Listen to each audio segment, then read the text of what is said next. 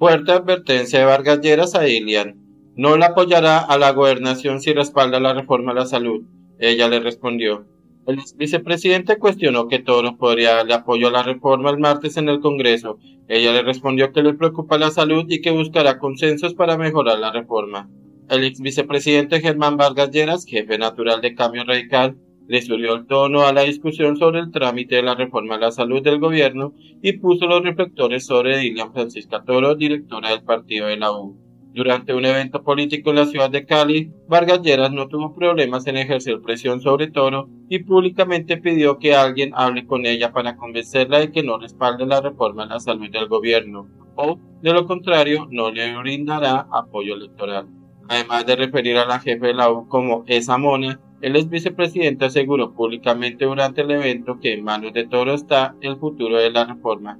En manos de la doctora Lilian está que esto prospere o no el martes, señaló.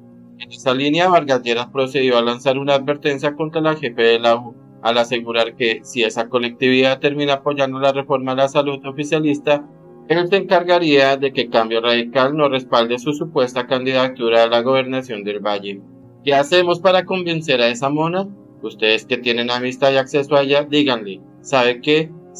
Si así procede, no la podemos acompañar en su aspiración a la gobernación.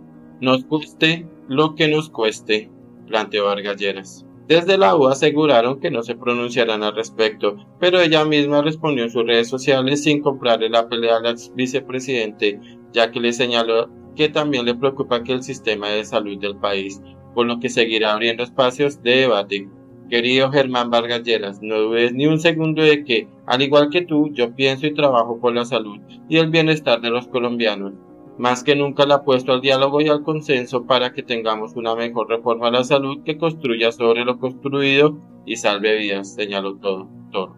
Nos uno a las jugadas estratégicas en el debate de la reforma a la salud, porque junto a Efraín Cepeda, jefe del Partido Conservador, han hecho una serie de reparos al proyecto de reforma a la salud, pero no ha dejado del todo claro si la U definitivamente no apoyará este proyecto.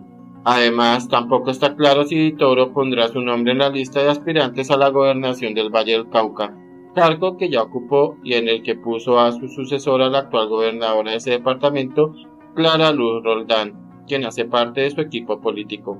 En todo caso, estos comentarios de Vargas Lleras dan luces de que la pelea por las reformas de Petro tendrá de por medio intereses electorales que podrían pesar y cambiar la balanza de la controvertida reforma a la salud que sigue estancada en el Congreso.